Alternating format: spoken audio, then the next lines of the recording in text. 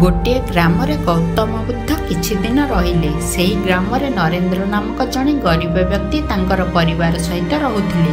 ସେ ନିଜକୁ ଦୁନିଆର ସବୁଠାରୁ ଦୁଃଖୀ ବ୍ୟକ୍ତି ମନେ କରୁଥିଲେ। ସେ ନିଜର ପଡ଼ୋଶୀମାନଙ୍କ ଠାରୁ ଗୌତମ ବୁଦ୍ଧ ଆସିବାର ସୂଚନା ପାଇ ଗୌତମ ବୁଦ୍ଧଙ୍କ ନିକଟକୁ ଗଲେ। ବୁଦ୍ଧଙ୍କୁ ପ୍ରଣାମ କରି ତାଙ୍କ ନିକଟରେ ବସିଗଲେ ଏବଂ ଅତ୍ୟନ୍ତ ଦୁଃଖିତ ହୋଇ ବୁଦ୍ଧଙ୍କୁ କହିଲେ ହେ ବୁଦ୍ଧ ମୁଁ ଏ ଦୁନିଆର ସବୁଠାରୁ ଦୁଃଖୀ ବ୍ୟକ୍ତି। ମୋର ସମଗ୍ର ଜୀବନ ଦୁଃଖ ଓ ଯନ୍ତ୍ରଣାରେ ପରିପୂର୍ଣ୍ଣ। ମୁଁ ଆମ ଗାଁର ଜଣେ ଗରିବ ଦିନ ମଜୁରିଆ ମୁଁ ଏଠାରେ ଧନୀ ଲୋକମାନଙ୍କ ଘରେ କାମ କରେ। ମୋର ପରିଶ୍ରମ ବଳରେ ମୁଁ କେବଳ ମୋ ପରିବାର ପାଇଁ ଦୁଇଥରର ଖାଇବା ଯୋଗାଡ଼ କରିପାରୁଛି। ମୋ ନିକଟରେ ରହିବା ପାଇଁ ଭଲ ଘର ଖଣ୍ଡେ ନାହିଁ କି ପିନ୍ଧିବା ପାଇଁ ଭଲ ପୋଷାକ ମଧ୍ୟ ନାହିଁ। ମୋ ନିକଟରେ କିଛି ଜମି ମଧ୍ୟ ନାହିଁ। ମୁଁ ସତ ଚେଷ୍ଟା ପରେ ମଧ୍ୟ କିଛି କରିପାରୁନାହିଁ। ମୋର ସ୍ତ୍ରୀ ଓ ପିଲାମାନେ ଏହି ଅବସ୍ଥା ପାଇଁ ସବୁବେଳେ ମୋତେ ଦୋଷାରୋପ କରୁଛନ୍ତି। ଏସବୁ ଶୁଣି ମୋତେ କ୍ରୋଧ ଆସୁଛି ଓ ପରିବାରରେ ଝଗଡ଼ା ହେଉଛି ସମସ୍ତେ ଦୁଃଖରେ ରହୁଛୁ। କେବେ କେବେ ମୁଁ କ୍ରୋଧ ଓ ବିରକ୍ତ ଭାବନାରେ ମୋ ପତ୍ନୀ ଓ ପିଲାମାନଙ୍କ ଉପରେ ହାତ ମଧ୍ୟ ଉଠାଉଛି।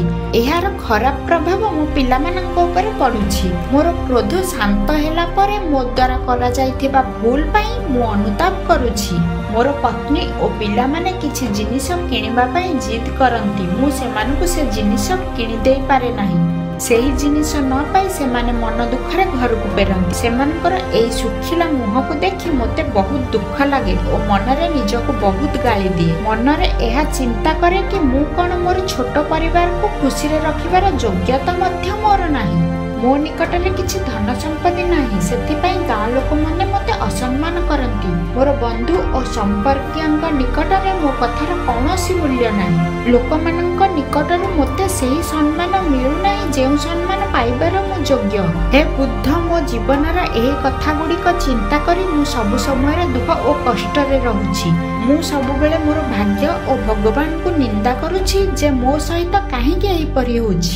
ଅନ୍ୟ ସମସ୍ତେ ଏତେ ଖୁସିରେ ରହୁଛନ୍ତି ଭଗବାନ ମୋତେ ଏତେ ଦୁଃଖ କାହିଁକି ଦେଉଛନ୍ତି? କେବେ କେବେ ସେମାନଙ୍କୁ ଖୁସିରେ ଦେଖି ମୋତେ ଇର୍ଷା ଲାଗୁଛି। ମୋ ଗାଁର ନରେନ୍ଦ୍ର ବାବୁ ବହୁତ ଧନୀ ତାଙ୍କ ନିକଟରେ ଅନେକ ଟଙ୍କା ରହିଛି। ଆଉ ମଧ୍ୟ ସେହି ହରିଦାସ ତାଙ୍କ ଜମିରେ ମୁଁ ଚାଷ କରେ। ତାଙ୍କ ନିକଟରେ ବହୁତ ଜମି ରହିଛି। ସେହି ଜମି ଗୁଡ଼ିକରେ ଶହ ଶହ ଲୋକ ପ୍ରତିଦିନ କାର୍ଯ୍ୟ କରନ୍ତି। ମୋ ଗାଁର ଧନେନ୍ଦ୍ର ବ୍ୟାପାରୀ ଆଖପାଖ ସମସ୍ତ ଗାଁ ଓ ସହରରେ ତାଙ୍କର ବ୍ୟାପାର ରହିଛି। ଆମ ଗାଁର ମୁଖ୍ୟ ମନ୍ଦିରର ପ୍ରଧାନ ପୂଜାରୀ ନାରାୟଣ ମହାଶୟ ସେ କିଛି କାର୍ଯ୍ୟ କରନ୍ତି ନାହିଁ କେବଳ ପୂଜା କରନ୍ତି କିନ୍ତୁ ଗାଁର ସମସ୍ତ ଲୋକ ତାଙ୍କୁ ବହୁତ ଦାନ ଦକ୍ଷିଣା ଦିଅନ୍ତି। ଆହୁରି ମଧ୍ୟ ଜଗୁ ସାହୁ ତାଙ୍କ ଖାଦ୍ୟ ସାମଗ୍ରୀ ଦୋକାନରୁ ସେ ଅନେକ ଟଙ୍କା ରୋଜଗାର କରୁଛନ୍ତି। ତାଙ୍କ ନିକଟରେ ଅନେକ ଘର ଓ ଗାଡ଼ି ମଧ୍ୟ ରହିଛି। ଏମାନେ ନିଜ ଜୀବନ କେତେ ଖୁସିରେ କଟାଉଛନ୍ତି। ଏମାନଙ୍କ ଜୀବନରେ କିଛି ଅସୁବିଧା ଓ କଷ୍ଟ ନାହିଁ। ହେ ବୁଦ୍ଧ ମୋତେ ଏପରି କିଛି ଉପାୟ କୁହନ୍ତୁ ଯେପରି ମୋ ଜୀବନ ଏମାନଙ୍କ ପରି ଖୁସି ଓ ଆନନ୍ଦରେ ଭରିଯିବ। ଏବଂ ମୋ ଜୀବନରେ କୌଣସି ଦୁଃଖ ଓ କଷ୍ଟ ରହିବ ନାହିଁ।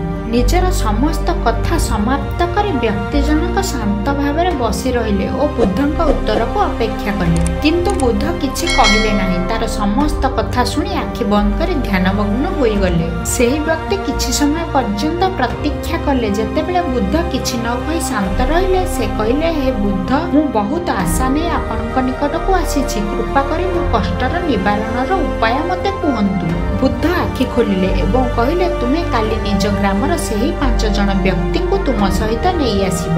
ଯେଉଁ ବ୍ୟକ୍ତି ତୁମ ଗ୍ରାମର ସବୁଠାରୁ ସୁଖୀ ବ୍ୟକ୍ତି ଅଟନ୍ତି। କାଲି ମୁଁ ତୁମକୁ ଏହିପରି ଏକ ଉପାୟ ବତାଇ ଦେବି ଯେଉଁଥିରେ ତୁମ ଜୀବନର ସମସ୍ତ ଦୁଃଖ ଓ କଷ୍ଟ ଦୂର ହୋଇଯିବ ଏହା ଶୁଣି ସେ ଲୋକ ଅତ୍ୟଧିକ ଖୁସିରେ ସେ ପାଞ୍ଚ ଜଣ ବ୍ୟକ୍ତିଙ୍କୁ ସାଙ୍ଗରେ ନେଇ ଆସିବାର ପ୍ରତିଶ୍ରୁତି ଦେଇ ଚାଲିଗଲେ। ବୁଦ୍ଧ ଓ ସେ ବ୍ୟକ୍ତିଙ୍କ କଥା ବୁଦ୍ଧଙ୍କ ଶିଷ୍ୟମାନେ ଶୁଣୁଥିଲେ। ସେ ବ୍ୟକ୍ତି ପ୍ରତ୍ୟାବର୍ତ୍ତନ ପରେ ଶିଷ୍ୟମାନେ ବୁଦ୍ଧଙ୍କୁ ପ୍ରଶ୍ନ କଲେ ତଥାଗତ ଆପଣ ସେ ବ୍ୟକ୍ତିଙ୍କ ପ୍ରଶ୍ନର ଉତ୍ତର ଆଜି ହିଁ ଦେଇପାରିଥାନ୍ତେ ଏହା ଶୁଣି ବୁଦ୍ଧ ଉତ୍ତର ଦେଲେ କେବଳ ମୋର କଥା ଶୁଣି ସେ ବ୍ୟକ୍ତିଙ୍କର ଜୀବନକୁ ଦେଖିବାର ଦୃଷ୍ଟିକୋଣରେ ପରିବର୍ତ୍ତନ ହୋଇପାରିନଥାନ୍ତା। ତାଙ୍କର ଦୃଷ୍ଟିକୋଣ ବଦଳାଇବାକୁ ହେଲେ ସେହି ପାଞ୍ଚ ଜଣ ବ୍ୟକ୍ତିଙ୍କ ଉପସ୍ଥିତ ଏଠାରେ ଆବଶ୍ୟକତା ରହିଛି। ଯେଉଁମାନଙ୍କୁ ସେ ସବୁଠାରୁ ସୁଖୀ ବ୍ୟକ୍ତି ଭାବୁଛନ୍ତି। ତାଙ୍କ ଦୃଷ୍ଟିରେ ସେ ବ୍ୟକ୍ତିଙ୍କ ଜୀବନରେ କୌଣସି ଦୁଃଖ ଓ କଷ୍ଟ ନାହିଁ। ଏଠାରେ ଗୌତମ ବୁଦ୍ଧ ଆମ ସମସ୍ତଙ୍କ ଦୃଷ୍ଟିକୋଣ ବିଷୟରେ କହୁଛନ୍ତି। ଆମେ ଆମ ଜୀବନ ପ୍ରତି କିପରି ଦୃଷ୍ଟିକୋଣ ରଖିଛେ? ଯଦି ଆମର ଜୀବନକୁ ଦେଖିବାର ଦୃଷ୍ଟିକୋଣ ସକାରାତ୍ମକ ରହିଛି ଆମେ ଖରାପ ଅତି ଖରାପ ପରିସ୍ଥିତିରେ ମଧ୍ୟ ଶାନ୍ତ ଓ ସ୍ଥିର ରହିପାରିବା। ଯଦି ଆମର ଦୃଷ୍ଟିକୋଣ ନକାରାତ୍ମକ ରହିଛି ତେବେ ଆପଣ ବିଚଳିତ ଓ ଅସ୍ଥିର ରହିବେ। ଏହିପରି ନୂତନ ଭିଡିଓ ଦେଖିବା ପାଇଁ ମୋ ଚ୍ୟାନେଲକୁ ଲାଇକ୍ ସେୟାର ସବସ୍କ୍ରାଇବ୍ କରନ୍ତୁ। ଆସନ୍ତୁ ପୁନଃ କାହାଣୀକୁ ଯିବା। ପରଦିନ ଲୋକଟି ନିଜର କଥା ଅନୁସାରେ ସେହି ପାଞ୍ଚ ଜଣ ବ୍ୟକ୍ତିଙ୍କୁ ନେଇ ସେଠାରେ ପହଞ୍ଚିଲେ ଏବଂ କହିଲେ ମୁଁ ବହୁତ କଷ୍ଟରେ ଏହି ପାଞ୍ଚ ଜଣ ବ୍ୟକ୍ତିଙ୍କୁ ମୋ ସହିତ ନେଇ ଆସିଛି। ଆପଣ ମୋତେ ଶୀଘ୍ର ସେହି ସୂତ୍ରଟି କହିଦିଅନ୍ତୁ ଯାହାଦ୍ୱାରା ମୁଁ ମୋ ଜୀବନରେ ଖୁସିରେ ରହିବି। ବୁଦ୍ଧ କହିଲେ ପ୍ରଥମେ ତୁମେ ସେହି ପାଞ୍ଚ ଜଣ ବ୍ୟକ୍ତିଙ୍କୁ ତ ପଚାର ସତରେ କଣ ସେମାନେ ନିଜ ଜୀବନରେ ବହୁତ ଖୁସିରେ ଅଛନ୍ତି? ବୁଦ୍ଧ ସର୍ବପ୍ରଥମେ ନରେନ୍ଦ୍ର ନାମକ ବ୍ୟକ୍ତିଙ୍କୁ ପଚାରିଲେ ମୁଁ ଶୁଣିଛି ତୁମେ ତୁମ ଗ୍ରାମର ସବୁଠାରୁ ସୁଖୀ ବ୍ୟକ୍ତି ଏହା ଶୁଣି ସେ ବ୍ୟକ୍ତି କହିଲେ ମୁଁ ନିଜର କାରବାର ଯୋଗୁଁ ଏତେ ବ୍ୟସ୍ତ ରହୁଛି ଶାନ୍ତିରେ ଖାଦ୍ୟ ମଧ୍ୟ ଖାଇପାରୁନାହିଁ ଓ ମୋ ପରିବାର ସହିତ କିଛି ସମୟ ମଧ୍ୟ ଅତିବାହିତ କରିପାରୁନାହିଁ। ରାତ୍ରିରେ ଚିନ୍ତାରେ ମୋତେ ନିଦ ହେଉନାହିଁ। ଏ ସମ୍ପତ୍ତିର ମୂଲ୍ୟ କ'ଣ ଅଛି? ଯେଉଁଠି ଶାନ୍ତି ଓ ସମୟ ନାହିଁ। ଖାଦ୍ୟ ନିକଟରେ ଥାଇ ଖାଦ୍ୟ ଖାଇ ହେଉନାହିଁ କି କୋମଳ ଗଦିରେ ମଧ୍ୟ ନିଦ ଆସୁନାହିଁ ଏହାପରେ ବୁଦ୍ଧ ଜମିଦାର ହରିଦାସଙ୍କୁ ପଚାରିଲେ ମୁଁ ଶୁଣିଲି ତୁମେ ତୁମ ଗ୍ରାମର ସବୁଠାରୁ ସୁଖୀ ବ୍ୟକ୍ତି ଏହା ଶୁଣି ସେହି ବ୍ୟକ୍ତି ଅତ୍ୟନ୍ତ କ୍ରୋଧରେ କହିଲେ ମୋତେ ଲାଗୁଛି ମୁଁ ଏ ଗ୍ରାମର ସବୁଠାରୁ ଦୁଃଖୀ ବ୍ୟକ୍ତି। ମୋ ନିକଟରେ ଏତେ କାର୍ଯ୍ୟଭାର ରହିଛି ତାକୁ ସମାପ୍ତ କରୁ କରୁ ସମଗ୍ର ଦିନ ବିତି ଯାଉଛି ଅନେକ ଚିନ୍ତାରେ ମୁଁ ସର୍ବଦା ବିବ୍ରତ ରହୁଛି। ଏ ବର୍ଷ କମ୍ ବର୍ଷା ହେବା ଯୋଗୁଁ ଫସଲ ମଧ୍ୟ କମ୍ ହୋଇଛି। ଆହୁରି ମଧ୍ୟ ଫସଲ ସମୟରେ ମୋତେ ଚିନ୍ତା ରହୁଛି କୀଟପତଙ୍ଗ ଓ ପଶୁ ପକ୍ଷୀଙ୍କ ଯୋଗୁଁ ମୋର ଫସଲ ନଷ୍ଟ ହୋଇଯାଇପାରେ। ଆହୁରି ମଧ୍ୟ ଚିନ୍ତା ରହୁଛି କି ଶ୍ରମିକମାନେ ଠିକ୍ରେ କାମ କରୁଛନ୍ତି ନା ନାହିଁ। କେହି ବ୍ୟକ୍ତି ମୋର ଶସ୍ୟକୁ ଚୋରାଇ ନେଉନାହାନ୍ତି ତ?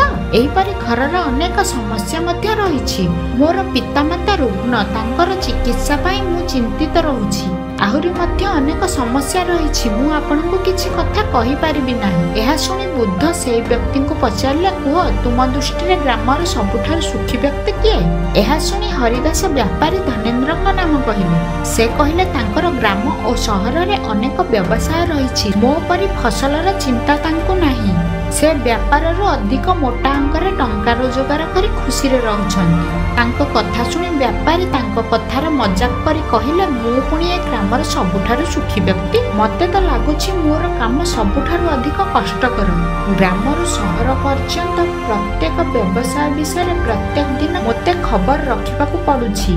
କର୍ମଚାରୀମାନେ ମୋର ବ୍ୟବସାୟକୁ ଠିକ୍ରେ ଚଲାଉଛନ୍ତି ନା ନାହିଁ କାର୍ଯ୍ୟ ଠିକ୍ରେ କରୁଛନ୍ତି ନା ନାହିଁ ସେ ବିଷୟରେ ମୋତେ ଚିନ୍ତା ରହୁଛି। କେହି ମୋର ଶତ୍ରୁମାନଙ୍କ ସହିତ ମିଶି ମୋ ସହିତ ବିଶ୍ୱାସଘାତକତା କରୁନାହାନ୍ତି। ଏହିପରି ଅନେକ ସମସ୍ୟା ଓ ଚିନ୍ତାକୁ ମୋତେ ପ୍ରତ୍ୟେକ ଦିନ ସାମ୍ନା କରିବାକୁ ପଡୁଛି। ମୋତେ ଲାଗୁଛି ଏହିପରି ଚିନ୍ତା କଲେ ମୁଁ ବହୁତ ଶୀଘ୍ର ଏ ଦୁନିଆରୁ ଚାଲିଯିବି। ଆହୁରି ମଧ୍ୟ ଚୋର ଓ ଅନ୍ୟ ଲୋକମାନଙ୍କ ନଜର ମୋର ଧନ ଉପରେ ରହିଛି। ଏଥିପାଇଁ ମୋ ଜୀବନ ପ୍ରତି ବିପଦ ରହିଛି। ମୋତେ ପ୍ରତ୍ୟେକ ସମୟରେ ସୁରକ୍ଷାର ଆବଶ୍ୟକତା ରହୁଛି। ଏଥିପାଇଁ ମୁଁ ବାହାରେ ସ୍ୱତନ୍ତ୍ର ଭାବରେ ଏକା ବୁଲିବାକୁ ମଧ୍ୟ ଯାଇପାରୁନାହିଁ। ଏହିପରି ଅନେକ ସମସ୍ୟାରେ ମୋ ଜୀବନ ଅତିବାହିତ ହେଉଛି। ମୋର ଦୁଃଖ କଷ୍ଟ ବିଷୟରେ କହିବାକୁ ଗଲେ ଗୋଟିଏ ଦିନ କମ୍ ପଡ଼ିଯିବ। ସେଥିପାଇଁ ମୁଁ ଆମ ଗ୍ରାମର ସବୁଠାରୁ ସୁଖୀ ବ୍ୟକ୍ତି କିପରି ହେଇପାରିବି? ଏହା ଶୁଣି ବୁଦ୍ଧ ତାଙ୍କୁ ପ୍ରଶ୍ନ କଲେ ତୁମେ କୁହ ତୁମ ଗ୍ରାମର ସବୁଠାରୁ ସୁଖୀ ବ୍ୟକ୍ତି କିଏ? ବ୍ୟାପାରୀ କହିଲେ ପୂଜାରୀ ମହାଶୟ ଆମ ଗ୍ରାମର ସବୁଠାରୁ ସୁଖୀ ବ୍ୟକ୍ତି। ଏହା ଶୁଣି ପ୍ରଧାନ ପୂଜାରୀ ଉତ୍ତର ଦେଲେ ମୁଁ କିପରି ଏ ଗ୍ରାମର ସବୁଠାରୁ ସୁଖୀ ବ୍ୟକ୍ତି? ଏହି ଗ୍ରାମର ସବୁଠାରୁ ଅଧିକ କଷ୍ଟପୂର୍ଣ୍ଣ କାର୍ଯ୍ୟ ମୋ ନିକଟରେ ରହିଛି। ଖରା ବର୍ଷା ଶୀତ ଯେଉଁ ପ୍ରକାର ପରିସ୍ଥିତି ହେଲେ ମଧ୍ୟ ମୋତେ ପ୍ରତ୍ୟେକ ଦିନ ରାତ୍ରି ଚାରିଟାରୁ ଉଠିବାକୁ ପଡ଼େ। ଉଠି ମନ୍ଦିର ଖୋଲି ଠାକୁରଙ୍କ ପୂଜାବିଧି ଆରମ୍ଭ ହୁଏ। ସେହିପରି ସନ୍ଧ୍ୟା ଛଅଟାରେ ଠାକୁରଙ୍କ ସନ୍ଧ୍ୟା ଆଳତୀର ବନ୍ଦୋବସ୍ତ କରିବାକୁ ପଡ଼େ। ଏହି କାର୍ଯ୍ୟ ପାଇଁ ମୁଁ ଗ୍ରାମର ବାହାରକୁ ମଧ୍ୟ ଯାଇପାରୁନାହିଁ। ଫଳରେ ସମସ୍ତ ବନ୍ଧୁବାନ୍ଧବଙ୍କ ସହିତ ମୋର ସମ୍ପର୍କ ଛିନ୍ନ ପ୍ରାୟ ହୋଇଗଲାଣି। ଆହୁରି ମଧ୍ୟ ସବୁଠାରୁ ବଡ଼ କଥା ମୋତେ ଜୀବନ ନିର୍ବାହ ପାଇଁ ଗାଁ ଲୋକଙ୍କ ଠାରୁ ମିଳୁଥିବା ଦାନ ଓ ଦକ୍ଷିଣା ଉପରେ ନିର୍ଭର କରିବାକୁ ପଡୁଛି। ସେଥିପାଇଁ ମୋତେ ଗ୍ରାମର ପ୍ରତ୍ୟେକ ବ୍ୟକ୍ତିଙ୍କ ସହିତ ସୁସମ୍ପର୍କ ସ୍ଥାପନ କରିବା ପାଇଁ ପଡୁଛି। ଏହିପରି ମୋର ଅନେକ କାର୍ଯ୍ୟ ଓ ଚିନ୍ତା ରହିଛି। ଏଥିପାଇଁ ମୁଁ ମୋର ଗ୍ରାମର ସବୁଠାରୁ ସୁଖୀ ବ୍ୟକ୍ତି ନୁହେଁ। ବୁଦ୍ଧ ଏହା ପରେ ଜଗୁକୁ ପଚାରିଲେ ତୁମେ ତୁମ ଗ୍ରାମର ସବୁଠାରୁ ସୁଖୀ ବ୍ୟକ୍ତି ଏହା ଶୁଣି ଜଗୁ ହାତ ଯୋଡ଼ି ଅତ୍ୟନ୍ତ ଦୁଃଖରେ କହିଲେ ମହାଶୟ କ୍ଷମା କରିବେ। ମୋ ଦୁଃଖୀ ବ୍ୟକ୍ତି କେହି ନାହାନ୍ତି। ମୋର ଖାଦ୍ୟ ସାମଗ୍ରୀର ବ୍ୟବସାୟ। ଏଥିପାଇଁ ମୋତେ ରାତି ତିନିଟାରୁ ଉଠି କର୍ମଚାରୀଙ୍କ ସହିତ କାର୍ଯ୍ୟ କରିବାକୁ ପଡ଼େ। ମୋତେ ସର୍ବଦା ମୋ ବିକ୍ରିର ଚିନ୍ତା ଓ ଖାଦ୍ୟ ସାମଗ୍ରୀ ଚୋରିର ଚିନ୍ତା ରହିଥାଏ। କର୍ମଚାରୀମାନେ ମୋର ଅନୁପସ୍ଥିତି ସମୟରେ ଖାଦ୍ୟରେ କିଛି ଅପମିଶ୍ରିତ କରି ମୋତେ ଠକୁନାହାନ୍ତି ତ? ଏହିପରି କଲେ ମୋର ବ୍ୟାପାର ଓ ନାମ ଖରାପ ହୋଇଯିବ। ମୋର ଶରୀର ରୋଗଗ୍ରସ୍ତ କିନ୍ତୁ ମୋତେ କାର୍ଯ୍ୟସ୍ଥଳରେ ରହି ସମସ୍ତ କାର୍ଯ୍ୟ ତଦାରଖ କରିବାକୁ ପଡ଼େ। ମୋର ପରିବାରରେ ମଧ୍ୟ ଅନେକ ସମସ୍ୟା ରହିଛି। ଏହା ଶୁଣି ବୁଦ୍ଧ ପଚାରିଲେ କୁହ ତୁମ ପାଞ୍ଚ ଜଣଙ୍କ ଦୃଷ୍ଟିରେ ଏ ଗ୍ରାମର ସବୁଠାରୁ ସୁଖୀ ବ୍ୟକ୍ତି କିଏ? ଏହା ଶୁଣି ସମସ୍ତେ ଉତ୍ତର ଦେଲେ ଯେଉଁ ବ୍ୟକ୍ତି ନିଜର ପରିଶ୍ରମ ବଳରେ ନିଜ ପରିବାର ପାଇଁ ଖାଦ୍ୟର ବ୍ୟବସ୍ଥା କରେ ଯାହାର ଜୀବନରେ ଅଧିକ ଚିନ୍ତା ନଥାଏ ତାକୁ ରାତ୍ରିରେ ନିଦ ଆସୁଥିବ ଯାହାର କିଛି ହଜାଇବାର ଚିନ୍ତା ନଥିବ ଯିଏ ନିଜର ପରିବାର ସହିତ ସମୟ ଅତିବାହିତ କରୁଥିବ ଓ ଅତ୍ୟନ୍ତ ସାଧାରଣ ଭାବରେ ଜୀବନ ବଞ୍ଚୁଥିବ। ସେହି ବ୍ୟକ୍ତି ସବୁଠାରୁ ସୁଖୀ ବ୍ୟକ୍ତି। ଯେପରି ଆମ ଗ୍ରାମର ଏହି ଶ୍ରମିକ ସମସ୍ତଙ୍କ ମୁଖରୁ ଏକ ସଙ୍ଗରେ ଏହି କଥା ଶୁଣିଲା ପରେ ସେହି ଦୁଃଖୀ ବ୍ୟକ୍ତିକୁ ନିଜ କାନରେ ଶୁଣାଯାଇଥିବା କଥା ଉପରେ ଭରସା ହେଉନଥିଲା। ସେ ଆଶ୍ଚର୍ଯ୍ୟର ସହିତ ସମସ୍ତଙ୍କ ମୁଖକୁ ଦେଖୁଥାନ୍ତି। ସେ ଆଜି ପର୍ଯ୍ୟନ୍ତ ଯେଉଁମାନଙ୍କୁ ଦୁନିଆର ସବୁଠାରୁ ସୁଖୀ ବ୍ୟକ୍ତି ଭାବୁଥିଲେ ସେମାନେ ନିଜ ମନରେ ତାଠାରୁ ଅଧିକ ଦୁଃଖ ଓ ଯନ୍ତ୍ରଣା ରଖି ନିଜ କାର୍ଯ୍ୟ କରୁଥିଲେ। ସେହି ବ୍ୟକ୍ତି ଆଶ୍ଚର୍ଯ୍ୟଚକିତ ମୁଖ ଦେଖି ବୁଦ୍ଧ ହସିଲେ ଓ କହିଲେ ପ୍ରତ୍ୟେକ ବ୍ୟକ୍ତିକୁ ତାର ନିଜର ଦୁଃଖ ଓ କଷ୍ଟ ସବୁଠାରୁ ଅଧିକ ମନେ ହୁଏ। ସେମାନେ ନିଜକୁ ଏ ଦୁନିଆର ସବୁଠାରୁ ଦୁଃଖୀ ବ୍ୟକ୍ତି ଭାବନ୍ତି। ଦୂରରୁ ଦେଖିଲେ ଆମକୁ ପ୍ରତ୍ୟେକ ବ୍ୟକ୍ତିଙ୍କ ଜୀବନ ଆନନ୍ଦରେ ପରିପୂର୍ଣ୍ଣ ମନେ ହୁଏ। କିନ୍ତୁ ପ୍ରତ୍ୟେକ ବ୍ୟକ୍ତିଙ୍କ ଜୀବନରେ ଦୁଃଖ କଷ୍ଟ ଓ ଯନ୍ତ୍ରଣାରେ ପରିପୂର୍ଣ୍ଣ। ଆମେ ସମସ୍ତେ ଏଥିରୁ ମୁକ୍ତି ପାଇପାରିବା ନାହିଁ। ତୁମେ ଯଦି ଅନେକ ପ୍ରୟାସ ପରେ ଗୋଟିଏ ସମସ୍ୟାର ସମାଧାନ କରିଦିଅ ତତ୍ପଶ୍ଚାତ ଅନ୍ୟ ଏକ ସମସ୍ୟା ତୁମ ନିକଟରେ ଆସି ଉପସ୍ଥିତ ରହିବ। ଧ୍ୟାନ ରଖ ଯେଉଁ ପର୍ଯ୍ୟନ୍ତ ଜୀବନ ରହିଛି ସମସ୍ୟା ତ ରହିବ। ତୁମ ଜୀବନର ସବୁଠାରୁ ବଡ଼ ଦୁଃଖ ତୁମ ସମସ୍ୟା ନୁହେଁ ତୁମ ସମସ୍ୟା ହେଉଛି ଏହା କି ତୁମେ ଜୀବନରେ ଅନ୍ୟଠାରୁ କରୁଥିବା ଆଶା ଓ ମୋହ। ଏହାପରେ ବୁଦ୍ଧ ସେ ବ୍ୟକ୍ତିଙ୍କୁ ପ୍ରଶ୍ନ କଲେ ତୁମକୁ କ'ଣ ଲାଗୁଛି? ମୁଁ ବୁଦ୍ଧ ମୋ ଜୀବନରେ ସମସ୍ୟା ନାହିଁ। ମୋ ଜୀବନରେ ମଧ୍ୟ ସମସ୍ୟା ରହିଛି। ମୁଁ ବୁଝି ସାରିଛି ସମସ୍ୟା ଜୀବନର ଏକ ଅଭିନ୍ନ ଅଙ୍ଗ। ଆମେ ସତ ଚେଷ୍ଟା କଲେ ମଧ୍ୟ ଏଥିରୁ ମୁକ୍ତି ପାଇପାରିବା ନାହିଁ। କେବଳ ଏହାକୁ ସ୍ୱୀକାର କରିପାରିବା।